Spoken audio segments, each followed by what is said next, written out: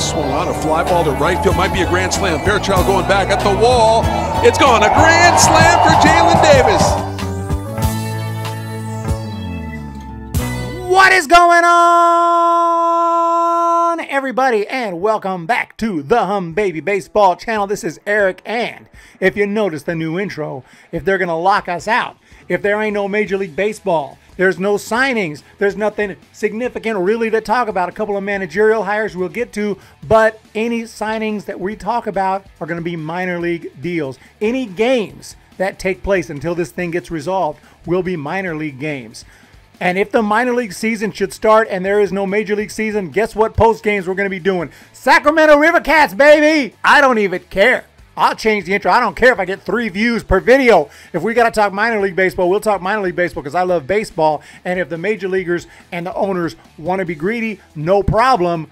We'll just give our money to all the minor leaguers. So, because uh, they need it anyway, not that the money actually gets to the pocket of the minor league players. If they're going to lock out, that's one thing I would understand. Lock out over minor league salary. You're going to lock out over y'all salary and y'all salary owners Stop it! But there has been a couple of signings I thought I'd talk about, and the San Francisco Giants have signed a catcher by the name of Jhonny Pereda, and uh, this is a guy who was drafted or signed by the Cubs out of Venezuela, and he ended up with the Red Sox last year. He's only 25. He got signed very, very young. He can work the walk, but his batting average is nothing special. Hit around 246 in the minor leagues, and uh, you know, not much power. Is not the most exciting guy, but he can get on base, and reportedly he's got pretty good defense. The Giants were definitely going to sign some catchers not necessarily going to compete for because I think the opening day roster is pretty much going to be Joey Bart and Curt Casali, barring injury. Let's just be honest, assuming again that this thing gets figured out. But right now, this is a minor league signing, so he will be probably on that River Cats roster come opening day for minor league baseball, and he will have an opportunity if and when spring training happens, major league spring training,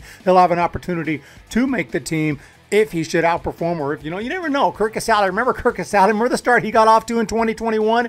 Giants fans were like, who the hell, did get this guy out of here. He was in like 090 um, before he finally started to heat up in the second half. So, but I think as of now, it's going to be Curt Casali and Joey Bart on the major league roster, assuming everything goes as planned. And of course, the big assumption that they actually get this freaking thing figured out. But uh, yeah, so the Giants, uh, sorry, the Giants have signed Jhonny Pereda to a minor league deal. Other than that, they've only been, well, I mean, as expected, very unrecognizable names that have been signed to minor league deals. The only guy that I've even heard of is Gary Fenter. He was in the Orioles organization, really good strikeout stuff.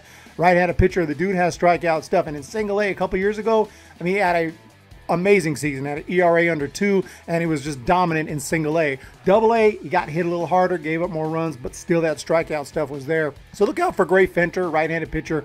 Also Luis Bermudez, right-handed pitcher. Moises Gonzalez, right-handed pitcher. Left-handed pitcher, Emmanuel de Jesus. So a lot of pitchers, a lot of pitchers other than Jhonny Pereda. Nothing but pitchers as far as these minor league deals. And uh, I don't I don't really have a lot of insight into these deals because there's really uh, not a ton of information. You can look through their stats and they all look decent. You know, some of these guys good strikeout stuff. They could help in the bullpen, but you know the Giants bullpen's already pretty solid, and really it's not not much going on there. So um, only thing I'm not even excited about Jhonny Pereda, but I think that's the biggest signing so far since there is no signings. Um, just because you have another catcher, and if an injury could happen, which injuries happen all the time, Joey Bart could get hurt, God forbid. Curt Casali could get hurt, which not as big a deal, but still you, you, know, you don't really want that, you know, because Curt Casali's an experienced major league catcher. You need guys, though. You need depth at catcher because of injuries and stuff. So Jhonny Pereda will be in the minor leagues for the Giants. Also, New York Mets have hired Buck Showalter. This is an old school name right here. There's not a lot of those names from my childhood still around, but I remember Buck Showalter being the manager of the Yankees when I was 12 years old, 13 years old. He was the manager of the Yankees. Then he went on to the D-backs, went on to the Rangers, and then forever he was with the Orioles. And uh, now he is heading to the Mets. I don't actually hate this deal. Um, I'm not sure how Mets fans are reacting to it, but you know the Mets have tried the new manager, you know, giving guys a shot, and things have fallen apart. And I think I think that you know you, if you have the talent, getting someone with experience, and I know Buck Showalter hasn't you know won a, any World Series to my knowledge. Uh, I think it was yeah, it was, was the Yankees through 95. So he didn't win that World Series in 96. That was Joe Torre taking over.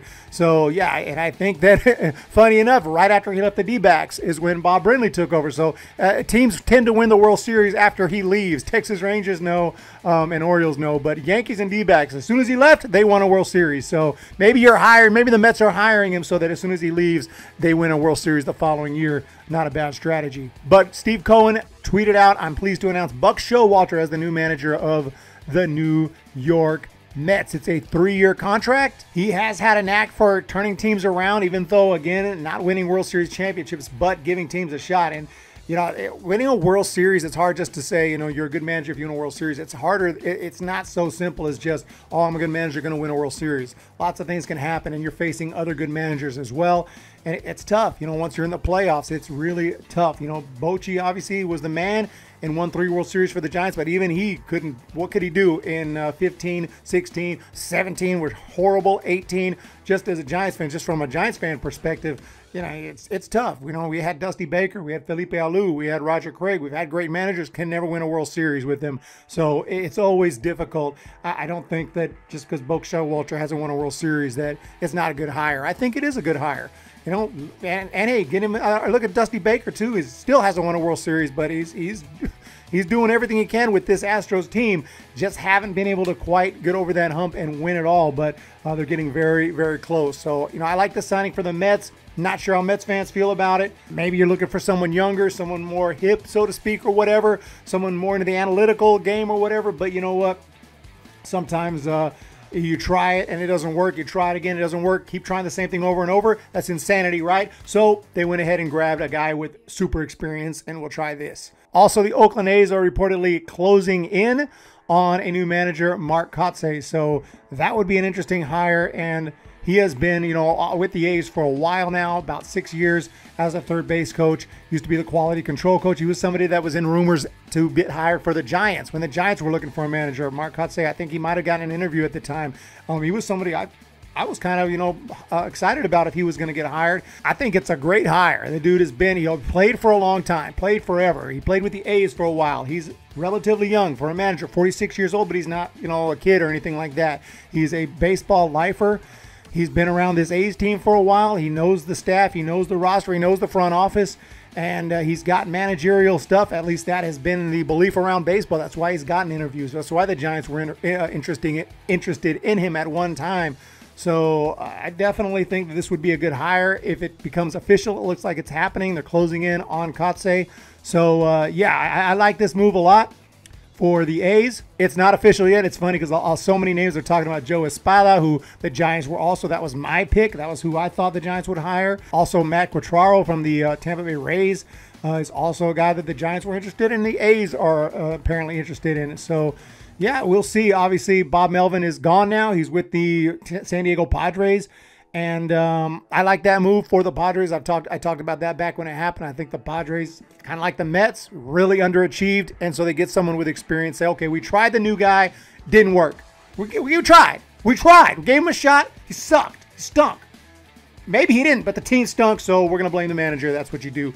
And they uh, got rid of him. So Jayce Tingler, who I think is now with the Twins, he's not not as a manager, but as just a bench coach. So uh, best of luck to him in the future. But yeah, you got to get it done. You know, it's, it's rookie manager is a tough gig because you know if you screw up, you might never get another opportunity again. And, and even if you don't screw up, your team just stinks you're out. So um, anyway, I just wanted to talk to y'all and give you some updates what's going on. Uh, obviously, again, no big league uh, moves as far as players because of the lockout. It's really frustrating, and the content is going to be kind of slow. But um, I don't really know what to talk about. I'm not just going to, you know, I, I, I, can speculate, make a video here and there, who I think should sign when, and, you know, free agent videos do really well. I'll definitely do an updated predictions free agent video, but it just feels kind of like right now, like I mean, what's what's the hype behind it? Because no one's signing anytime soon anyway, and, and, it's really frustrating. So, you guys have a great day. If you do want, uh, if you do want to enjoy uh, my videos, then you can also check out my personal channel, er- channel Eric's House, where I do movie reviews, music reviews. Definitely would would love to have your subscription over there. Growing channel here, just trying to get to a thousand subs over there. Would really appreciate that. And uh, yeah, that's all I got for today. So the San Francisco Giants sign a couple of minor leaguers, no big deal. And uh, a couple of managerial hires, and uh, that's it. And we're still locked out. You guys have a great day. Let's go River Cats, okay? Because that's the uh, the channel theme here. I, I know there's still some orange going on right here, but slowly, if they don't resolve this lockout, we're going full River Cats in this baby. Talk to y'all next time. When the Giants come